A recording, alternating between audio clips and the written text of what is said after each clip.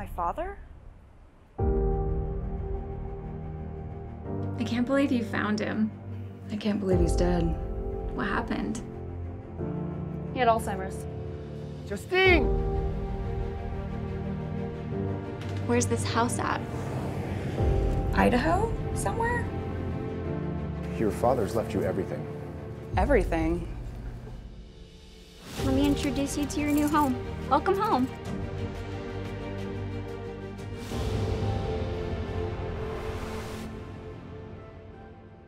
Look, just get her to sell the house to me, okay?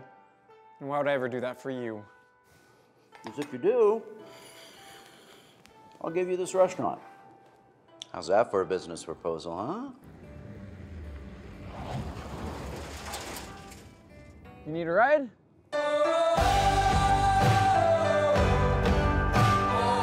Stop digging for answers.